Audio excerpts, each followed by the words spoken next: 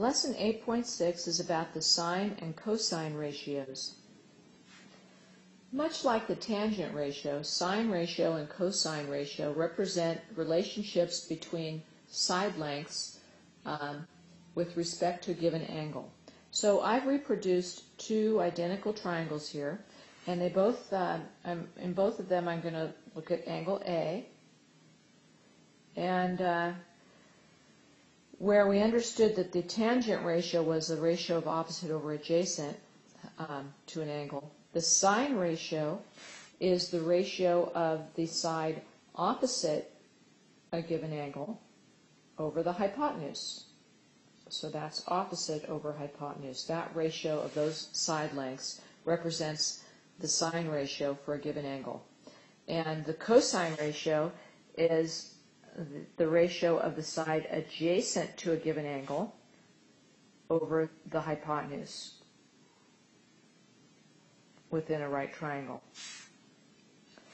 And just like tangent ratio, these ratios can be used to solve for missing side lengths when you know angle measures or to find angle measures when you know side lengths of right triangles. So there's a cute little acronym that you can use to help you memorize these when you're first learning the, um, the three basic trig ratios. So first is uh, sine. Um, the S in sine is opposite over hypotenuse, S-O-H. So that like spells so. And cosine ratio is adjacent over hypotenuse. So C-A-H, and that spells ka. So I have so ka. And then uh, the tangent ratio is the ratio of the opposite leg over adjacent leg. So T-O-A, toa. So we have SOHCAHTOA, and it sounds like an Indian princess name. Uh, SOHCAHTOA is the acronym that we use to remember the, um, the ratios. Okay, so as an example, let's say that I want to find the side lengths x and y to um, the nearest integer. Uh, if I know the angle measure, I know the hypotenuse of 100, and I know the angle measure of uh, 28 degrees. So given an angle measure and a hypotenuse, I can find x and y using the sine and cosine functions. So first of all, with respect to the 28 degrees, if I focus on x, x is opposite the 28 degree angle. So that's going to be the sine function. So I can say the sine of a 28 degree angle should be equal to the ratio of the opposite side of x over 100. And then using my algebra to solve for x, if I multiply both sides by 100, x is equal to 100 times the sine of 28 degrees. So on my calculator, I can enter it like this and the calculator will give me a parentheses to enter the 28 degrees in.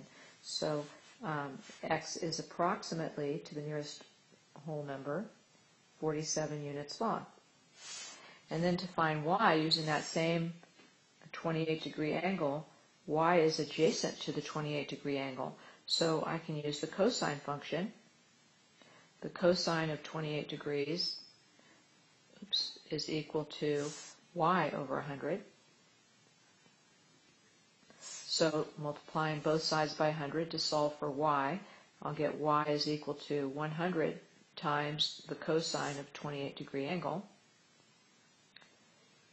And again, my calculator will do this for me if I enter 28 um, in for the number of degrees. So y is approximately 88 units in length.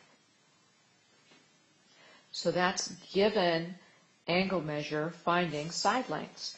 And we can work this in reverse too. We can find angle measures when we know side lengths.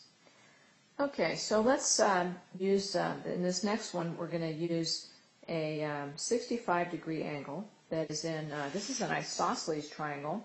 I can see because the big triangle has both these sides of x. And uh, if this is an altitude that comes down here forming a right angle, um, out of the vertex angle, then I know that that altitude always will hit the isosceles triangle uh, through its midpoint. So I do know that this segment is 12 and this segment is 12 if the entire bottom of the triangle is 24. So um, using now the 65 degree angle, I have an adjacent side of 12, and I can use that to solve for x or y. So let's say that first I want to solve um, of this right triangle, x is the hypotenuse, and, and with respect to the 65 degree angle, and 12 is the adjacent side.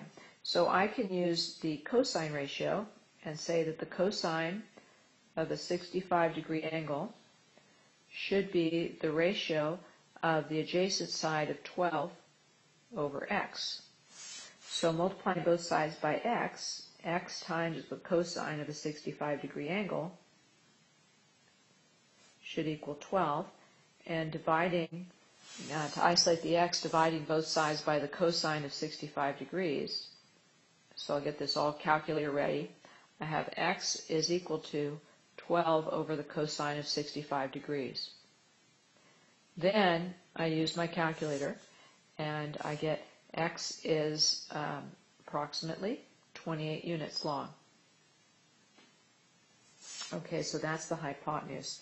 Now let's say I could use that hypotenuse uh, and y, and I could use the cosine of 65 degrees as y over 28. Um, or again, I can use the, um, I, I can, with respect to the 65, to solve for y, I could use the tangent ratio. I think I'm going to do that. I've got a y and a 12 and opposite over adjacent because then I'm using exact values for my leg length and degree measure and I'll be more accurate. So I can say the tangent of a 65 degree angle, tangent TOA being opposite over adjacent, is the ratio of y to 12. So y is equal to 12 times the tangent of 65 degrees. Oops. Twelve times the tangent of 65 degrees. And entering that on my calculator, I get y is approximately 26 to the nearest whole number. Okay, one last easy example to show how to use your inverse functions with sine and cosine. It's the same as with tangent. I have an angle that I don't know, x, I want to find out. I do know uh, two sides uh, lengths here. I know the hypotenuse of 28, and I know the side adjacent to angle x is 11. So with adjacent and hypotenuse, that tells me to use the cosine function. So I can set this up as the cosine of x degrees, which I don't know what that is, should be the ratio of 11 to 28. Okay, now, when I know the, the ratio of the side lengths and I don't know the uh, degree measure of the angle, I can use my inverse function. So I can say x is equal to the inverse cosine. So on my calculator, I'll use cosine negative 1, which is um, inverse cosine, and I'll give it the ratio. Hey, the ratio of the leg lengths is 11 to 28. Please give me back the number of degrees of this angle. And I should get x is approximately, to the nearest whole degree, 67 degrees. So those are examples of how to use the cosine and the sine functions uh, when right angle trigonometry.